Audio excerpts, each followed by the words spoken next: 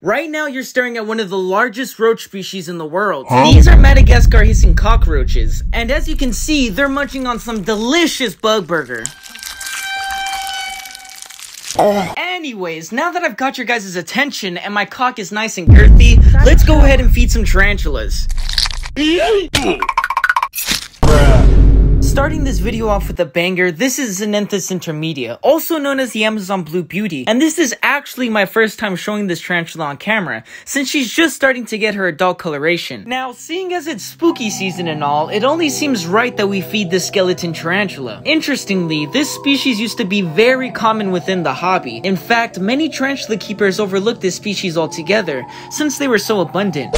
However, times have changed. The skeleton tarantula is no longer as common as they were, and as a result, tarantula keepers are looking everywhere for them. Bruh. This next tarantula is extremely rare. This is Bonnetina papalutlensis, and this species hails from Mexico, and was just recently described in 2012. So I'm gonna be giving this extremely rare tarantula a delicious gut-loaded hisser. The tarantula grabs the roach with her pedipalps and then sinks her hypodermic needle-like fangs into the hissing cockroach. These fangs are strong enough to pierce the roach's exoskeleton, which is the hard outer layer that protects the roach's gooey and vulnerable insides. Now, the tarantula continues to chew on the hissing cockroach, and surprisingly, the roach was almost able to escape, but the T wrestles with the roach in order to secure a better position for her fangs, and now that the roach is forced to hold this L, the sore winner of a tarantula does her celebratory victory dance.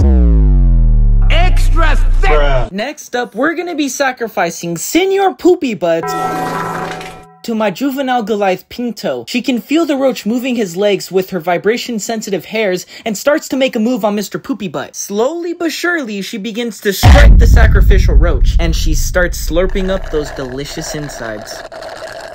Now inside of this hole right here, we've got a special tarantula. And in order for us to get a good look at this T, I must attempt to fish it out of its burrow with its prey. As I try my best to simulate roach movement, the T's legs begins to peek out of the burrow, and that beautiful iridescence underneath the legs are actually sticky pads used for gripping prey. Oh crap, the head just popped off. That was not supposed to happen. Anyways, that's my sun tiger tarantula, and since she's acting like such a psychopath, we're just gonna let her take her kill into her burrow. Okay, so right now we're gonna be attempting to feed one of my favorite species of tarantula. Holy crap, it actually took- Oh, the pain. Like I was trying to say before I was forced to hold an L, we are going to be feeding one of my favorite tarantula species. In this enclosure, I have Chilobrachys species electric blue. And as you can see, this fossorial old world tarantula has an amazing feeding response. But that's not why they're one of my favorite species. The real reason I'm in love with these spiders has to do with the jaw-dropping electric purples and blues that these amazing creatures display. And even though they look a little bland right now, keep in mind... It would be so sick if I could get this species deed on camera. Oh, okay, yeah, okay. Alrighty, let's go ahead and finish this video off with some hobby giants. Right here, we got Theraphosa blondi, one of the largest tarantulas in the entire world, and is most definitely the heaviest body tarantula in the entire world. Now, even though this guy is only a juvenile, he'll be reaching a maximum leg span of 10 to 11 inches. Yes, imagine that, a 10 to an 11 inch spider Mm, Daddy just gets so, so, so excited thinking about that. Stop it. Get some help. Next up is my T apophysis. Let's go ahead and drop in this cockroach. Oh my gosh. Jimmy Neutron didn't even hesitate to gobble up that cock. Huh? Obviously you know what a hissing cockroach is, but do you know how they hiss?